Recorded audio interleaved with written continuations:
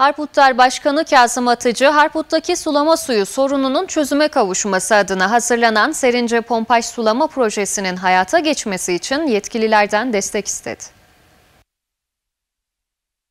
Harputlar Başkanı ve üyeleri Harput'ta sulama suyu sorunu olan bölgelerde hayata geçirilmesi için hazırlanan Serince Pompaj Sulaması projesinin bir an önce hayata geçirilmesi için yetkililere çağrıda bulundu. Harputlar Başkanı Kazım Atıcı, Harput ve Harput'a bağlı köylerin en önemli sorununun sulama sorunu olduğunu vurguladı.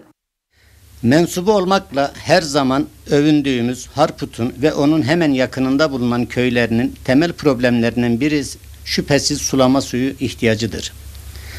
Verimli arazilere, çalışkan insanlara sahip bu köylerimizde maalesef tarımsal sulama amaçlı bir tesis bulunmamakta ve köylerimizde sulama ile alakalı ciddi sıkıntılar yaşanmaktadır.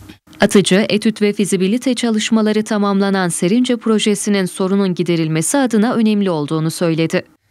Devlet Su İşleri Bölge Müdürlüğümüz tarafından etüt ve proje, e, projelendirme çalışmaları ve fizibilitesi tamamlanan ve her açıdan uygun bulunan Serince Pompaj Sulaması projesi bu sorunun çözümü adına büyük bir başlangıç olacaktır.